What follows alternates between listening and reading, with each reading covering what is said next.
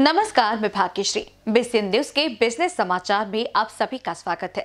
खबरों की ओर बढ़ने से पहले आइए डालते एक नज़र आज की सुर्खियों पर। जीएसटी कलेक्शन का रिकॉर्ड टूटा। मार्च में आए एक दशमलव तेईस लाख करोड़ रुपए। इससे पहले जनवरी में बना था एक दशमलव उन्नीस लाख करोड़ का रिकॉर्ड। और देश में बनेंगे सेमी कंडक्टर कंपनियों को 7,300 करोड़ नकद देने की तैयारी। केंद्र सरकार ने सार्वजनिक क्षेत्र के बैंकों की आर्थिक सेहत को सुधारने के लिए ठोस कदम उठाया है। इसके तहत सरकार ने चार सरकारी बैंकों में 14,500 करोड़ रुपए की पूंजी डाली है। यह पूंजी मुख्य रूप से उन बैंकों की वित्तीय हालत में सुधार के लिए उपलब्ध कराई गई है जो रिज़र्व बैंक ऑफ़ इंडिया के तत्काल सुधारात्मक कार्यवाही रूपरेखा के तहत है।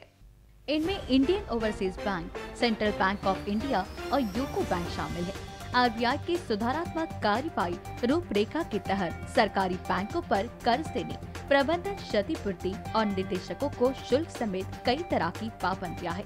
केंद्र की ओर से उपलब्ध कराई गई कुल राशि में से 11,500 करोड़ रुपए तीन बैंकों को जबकि बाकी 3,000 करोड़ रुपए बैंक ऑफ़ इंडिया को उपलब्ध कराई गई है। सरकार की अधिसूचना के अनुसार सेंट्रल बैंक ऑफ़ इंडिया की माली हालत सुधारने के लिए 4,800 करोड़ रुपए उपलब्ध कराए गए हैं। ब्यूरो रिपोर्ट बीसीएन न्यूज़ वैश्विक बाजारों में बहुमूल्य धातु में रही घटपट के बीच गुरुवार को घरेलू वायदा बाज़ार में सोने और चांदी की चमक बढ़ गई जिससे सोना पैतालीस हज़ार एक सौ सड़सठ रूपए प्रति 10 ग्राम और चांदी तिरसठ हज़ार नौ सौ अस्सी रूपए प्रति किलोग्राम बोला गया।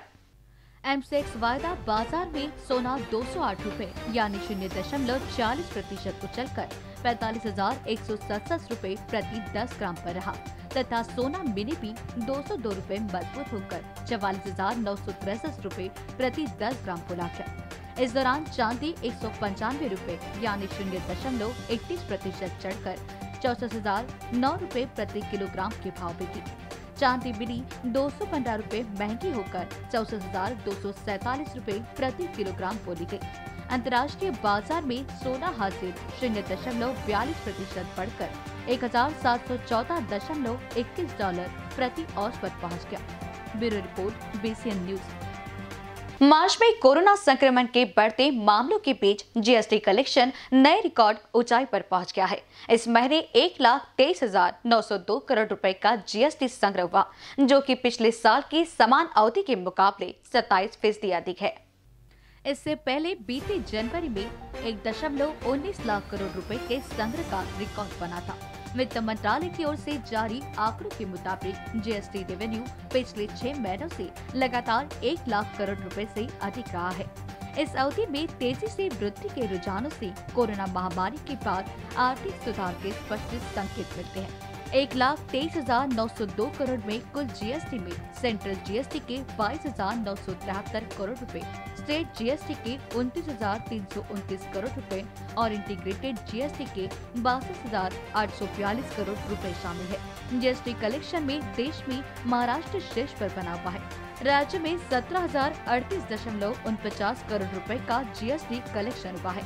यह पिछले साल मार्च की आंकड़े पंद्रह हज़ार दो दशमलव ग्यारह करोड़ रुपए से चौदह प्रतिशत अधिक है। Bureau report BCN news corona काल में वित्तीय संकट से जूझ रही भारत की मध्यम स्तर की कंपनियों को बीते फरवरी महीने में बड़ी राहत मिली है। इस महीने मध्यम आकार की कंपनियों को बैंकों से एक दशमलव तीन लाख करोड़ रुपए का कर्ज मिला, जो कि एक साल पहले इसी महीने की तुलना में इक्कीस फ़ीसदी अधिक है। इनमें Indian Overseas Bank, Central Bank of India और यूको बैंक शामिल है। आरबीआई की सुधारात्मक कार्यवाही रूपरेखा के तहत सरकारी बैंकों पर कर्ज देने प्रबंधन क्षतिपूर्ति और निदेशकों को शुल्क समेत कई तरह की पाबंदियाँ है। केंद्र की ओर से उपलब्ध कराई गई कुल राशि में से 11,500 करोड़ रुपए तीन बैंकों को जबकि बाकी 3,000 करोड़ रुपए बैंक ऑफ़ इंडिया को उपलब्ध कराई गई है। सरकार की अधिसूचना के अनुसार सेंट्रल बैंक ऑफ़ इंडिया की माली हालत सुधारने के लिए 4,800 करोड़ रुपए उपलब्ध कराए गए हैं। ब्यूरो रिपोर्ट बीसीएन न्यूज़ विश्व भर में सेमीकंडक्टर की किल्लत है। सेमीकंडक्टर की सप्लाई ने उद्योग की रफ्तार को भी धीमा कर दिया है। भारत सरकार इसे एक बड़े मौके के रूप में देख रही है। सरकार देश को सेमीकंडक्टर का बड़ा निर्यातक बनाने को योजना पर काम कर रही है। भारतीय सरकार सेमीकंडक्टर बनाने वाली प्रत्येक कंपनी को एक अरब डॉलर यानी करीब सात हज़ार तीन सौ करोड़ रुपए नकद दे रही है। सरकार द्वारा दी गई राशि की मदद से देश में मैन्युफैक्चरिंग यूनिट्स लगाई जाएँगी। इससे घरेलू स्मार्टफ़ोन इंडस्ट्री को फ़ायदा होगा और इलेक्ट्रॉनिक सप्लाई चेन भी मज़बूत होगी। प्रधानमंत्री नरेंद्र मोदी के मेक इन इंडिया अभियान ने भारत को चीन के बाद दुनिया का दूसरा सबसे बड़ा मोबाइल फ़ोन निर्माता बनने में मदद की है।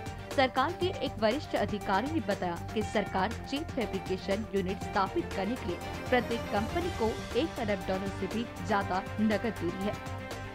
Bureau report, BCN news. खबरें समाप्त करने से पहले आइए डालते एक नज़र आज की सुर्खियों पर। जीएसटी कलेक्शन का रिकॉर्ड टूटा। मार्च में आए एक दशमलव तेईस लाख करोड़ रुपए। इससे पहले जनवरी में बना था एक दशमलव उन्नीस लाख करोड़ का रिकॉर्ड और देश में बनेंगे सेमी कंडक्टर कंपनियों को 7,300 करोड़ नकद देने की तैयारी। बिज़नेस समाचार में फ़िलहाल इतना ही। ऐसी अन्य खबरों से जुड़े रहने के लिए देखते रहिए बीसीएन न्यूज़ नमस्कार।